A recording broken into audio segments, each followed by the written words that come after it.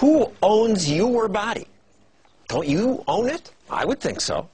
But if government can tell us what we can put into our own bodies, we don't really own ourselves. If government controls something so basic, that suggests there's no limit to what government can do.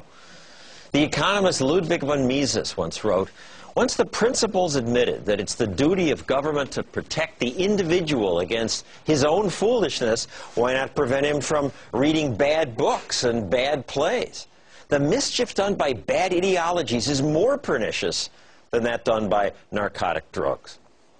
Right on, Ludwig! All drugs should be legal. It's easier to make the argument for marijuana, but I don't think that's really honest. Either we own our body or we don't. Now, I admit that the idea of all these drugs being legal is frightening. What if more people use, abuse? What if more kids use? I have kids. My first instinct when I reported on the drug laws was to be glad that cocaine and heroin are illegal. That meant my kids couldn't go down to the neighborhood drugstore and buy something to get them high. Maybe that would deter them. But I don't know that. Maybe the opposite's true. There's the forbidden fruit effect. Drugs being illegal may make them more desirable to teens. Now my kids are adults. They're over 21. I still don't want them to smoke crack, but they are adults. It should be their choice. I suspect a certain percentage of Americans will use drugs, no matter what the law says. And in fact, our government says about 8% of Americans do now. And that hasn't changed much over the years, despite the crackdowns. By contrast, Portugal decriminalized all drug use, and drug use hasn't changed there. In fact, they have lower rates of drug use than America has. By contrast, what good has drug prohibition accomplished? We've turned the corner on drug addiction in the United States. President Nixon was wrong then, and since then we've spent billions more. Authorities keep announcing major successes. This Operation Sudden Fall resulted in the arrest of over 100 individuals. It's not as if they're not trying. Every day, American police arrest 4,000 people for selling or using. That's more than are arrested for assault, burglary, vandalism, rape, and murder combined. We've locked up a higher percentage of our people than any other country.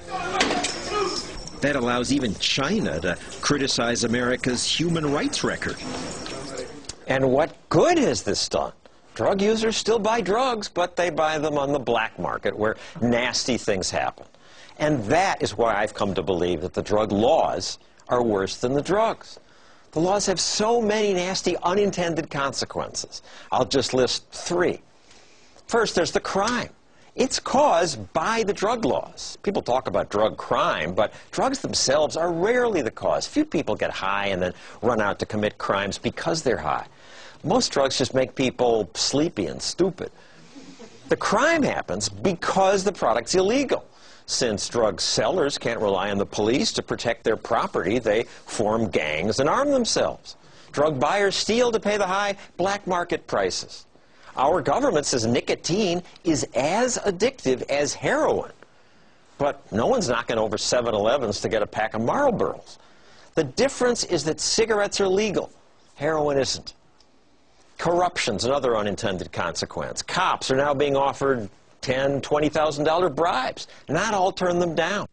A former Detroit police chief told me, with all the cash, it's easy to purchase police officers and prosecutors and judges. Third, drug prohibition creates unbelievably rich criminal gangs. We've forgotten that alcohol prohibition created Al Capone. The gangs we're creating now are much richer. Thousands are murdered in Mexico, and the violence is spreading to America. Reporters then talk about smuggling and Mexican cocaine cartels like those are just facts. But they are government created facts. There's there are no French wine cartels. No one is smuggling Corona beer from Mexico to America. You just ship it. The drug laws meant to make us safer, make us less safe. So, why is America doing this? Well, to protect us from ourselves. But if that's the right thing to do in a free society, we should have food police who come into our homes and make sure there's no ice cream in the house, and exercise police who make us run laps and do push-ups.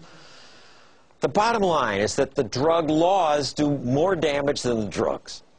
We should hold people accountable for harm they do to others, not for harm they do to themselves. And that's our show for tonight. Next week, we talk about gun control. Could more guns actually lead to less crime?